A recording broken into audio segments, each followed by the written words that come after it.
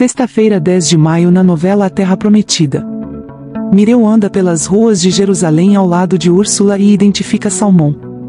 O oficial ordena que os soldados capturem o hebreu, resultando em uma perseguição. Salmão foge. Tobias assume a culpa pela falsa traição de Iana e Kimuel e é expulso de casa por Kimuel. Mireu alcança Salmão. Tirda se sente desconfortável em expressar sua opinião sobre o vestido. Úrsula decide levar Salmão ao palácio. Otniel descobre sobre a captura do amigo. Tobias busca abrigo na ferraria de Setur. Kimuel admite seus erros na criação do filho. Adonisedeque se reúne com a filha, que mostra o hebreu capturado. Raabe cuida de Boaz. Úrsula revela uma descoberta sobre Ula. Samara encontra Tobias e informa que o plano continua. Mireu conversa com Salmão nas masmorras. Úrsula acusa Ula de ser uma assassina.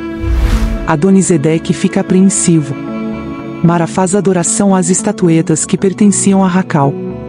Adonisedeque ordena que Abu traga Ula imediatamente. Leia comenta com outras mulheres que Josué proibiu os hebreus de saírem do acampamento. O líder promete proteger e vigiar as esposas. Otniel procura informações sobre Salmão.